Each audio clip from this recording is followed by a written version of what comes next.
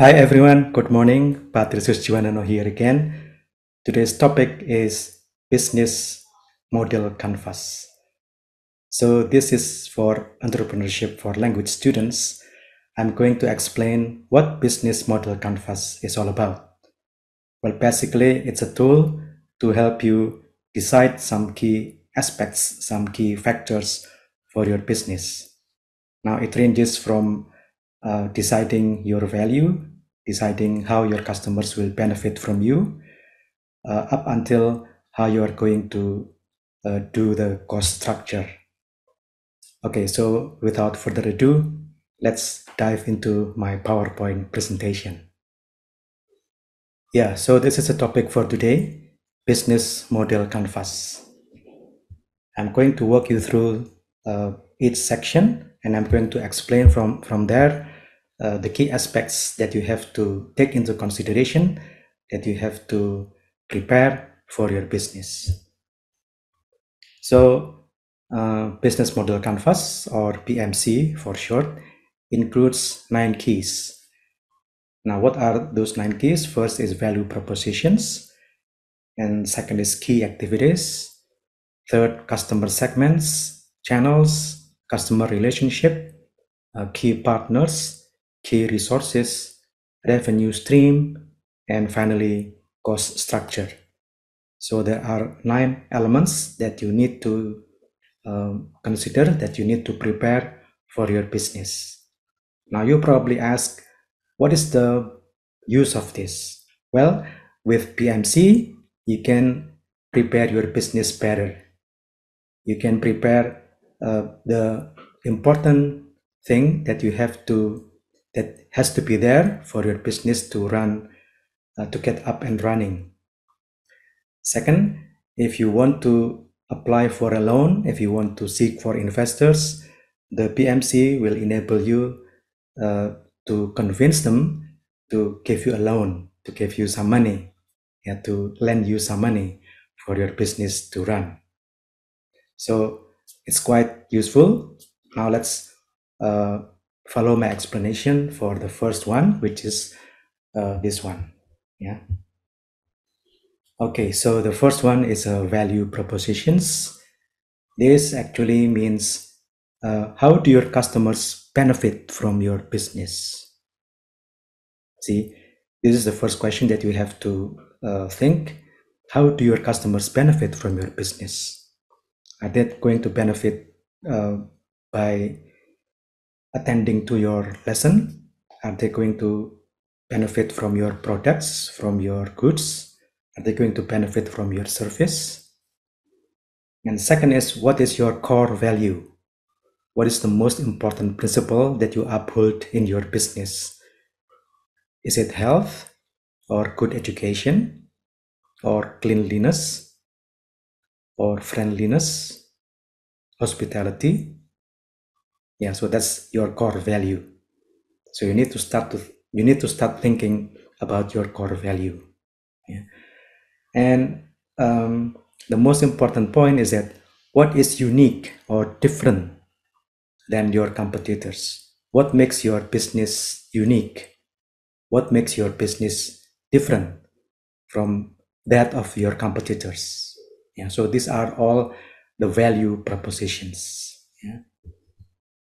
Now the second one is what we have, what we call key activities. Now simply means what is your main activity in your business? Are you going to sell something? Are you going to provide a short course or what? Yeah. So uh, yeah, this is the, the key activities. The main activity of your business okay? And the next one is customer segments. As you can probably guess from the name it's about your customers. Who are they? Who will buy or use your business? Are they school teachers or business people or rich women from big cities or people from rural areas, from remote areas, or uh, bike lovers, or what. Yeah, so you have to decide your customer segments. who will buy, who will use your service. And then um, of equal importance is what is their demographic, psychographic, and behavior. Demographic means their age, their social economic background, their education level, yeah, uh, where they live, yeah. And then psychographic means their lifestyle, the value that they have, the value that they, they uphold, uh, um, maybe their psychological uh, setup, yeah, their psychological condition. Are they people who live comfortably in a good neighborhood, or are they people from a lower economic uh, status who still seek uh, some identity, who still want to be firm in their uh, personality? Yeah. Are they students um, trying to get some new skills, trying to learn some new skills besides the courses that they have been taking from their schools? Yeah. And also their behavior. Do they uh, look at one product and buy it immediately? Or do they just look uh, around and not buying anything until they get convinced by their friends? Yeah. So this is their behavior. So customer segments is actually about your customer who are going to buy from your who are going to buy your product who are going to buy their service and what are they like what kind of people are they like yeah so that's the customer segments. Um, the next one is what we have as what we call channels. Yeah channels means how will you reach out and communicate with your customers.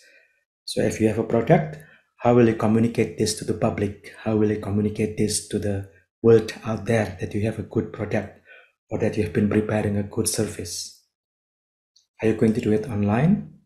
Are you going to do it offline face to face are you going to meet them personally and talk to them persuading them to buy from you are you going to speak to a large group so you come to a special gathering and then you promote your product, you introduce your product to them.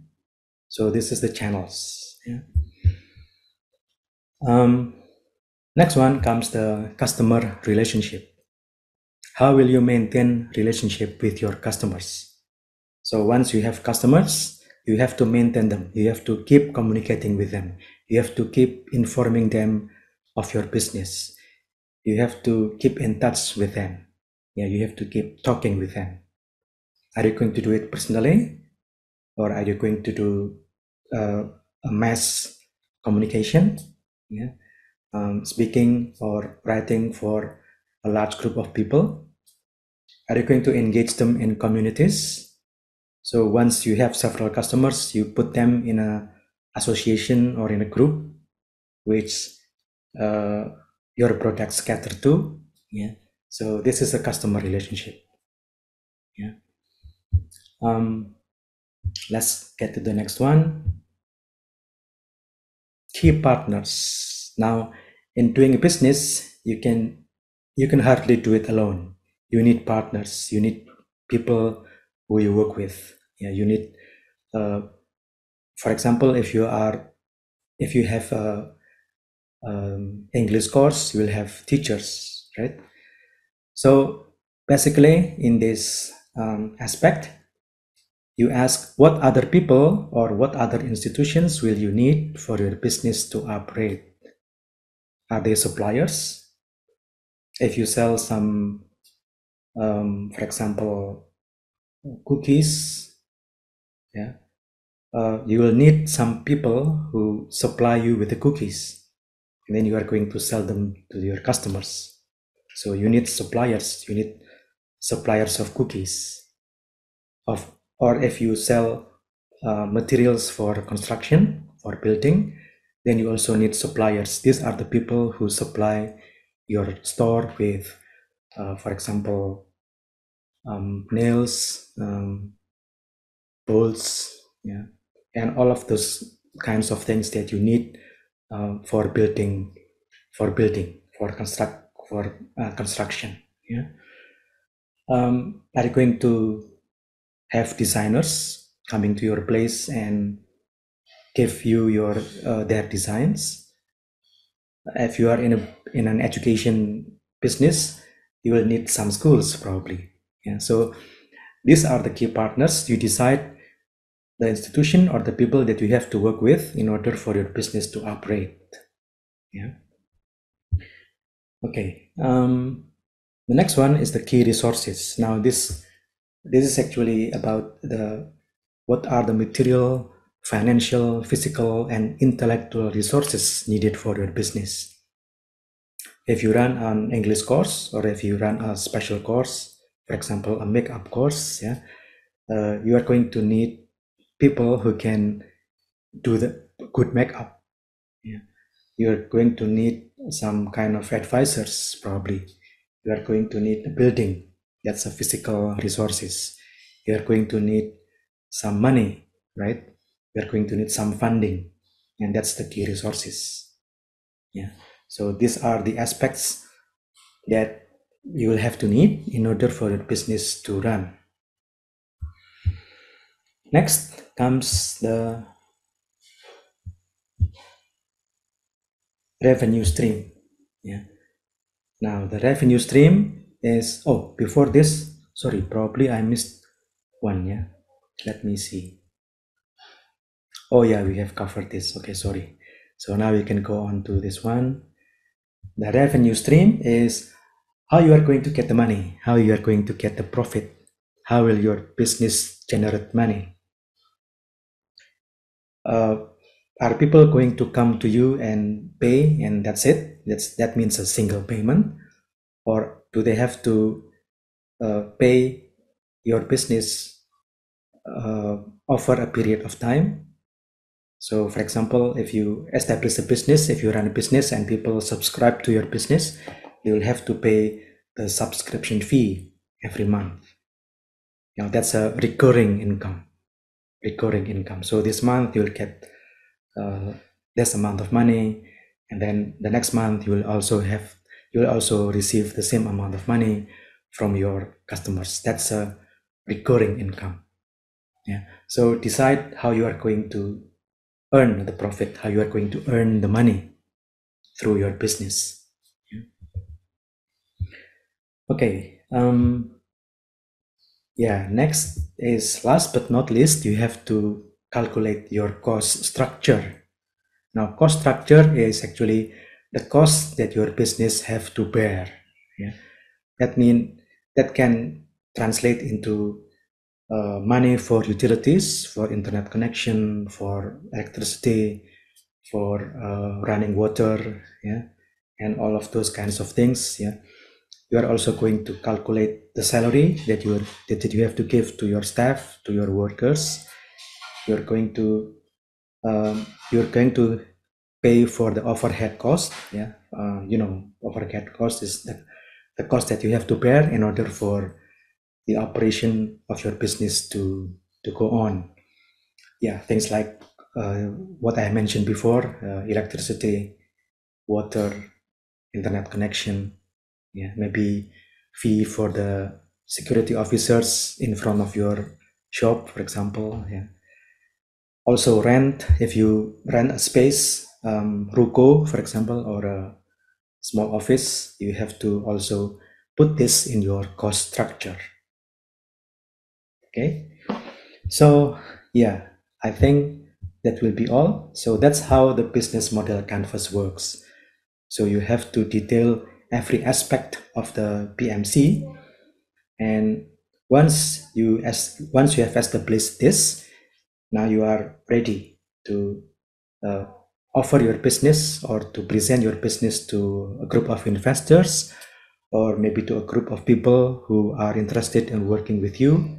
Yeah, so there are some useful things that you can achieve by establishing a good business model canvas. Okay, good luck and see you again in my next episode.